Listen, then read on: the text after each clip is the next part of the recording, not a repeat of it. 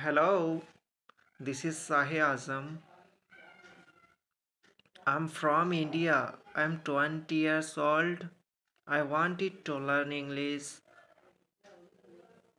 I searched on YouTube. Suddenly I got a video of R.B. Yadav sir. R.B. Yadav sir has a good confidence for teaching. He teaches very confidently.